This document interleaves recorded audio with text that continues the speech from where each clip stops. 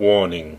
The following video clip contains scatological humor, presented at an extremely juvenile level. Viewer discretion is advised.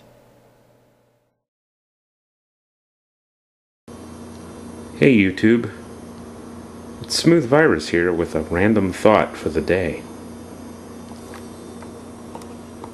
So I'm in the grocery store today and I bought some toilet paper because, well, it was on sale. And I got this Cottonelle, right?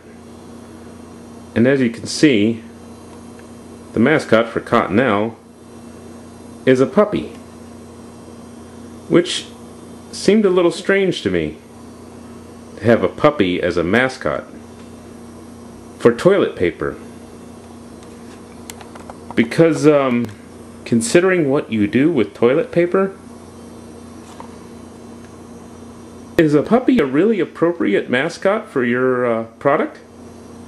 I mean, would you like to wipe your ass with a puppy? The puppy might not like it. But then again, dogs like to roll in things that stink. So if people said it was cruel, hey, the dog might like it. Thank you.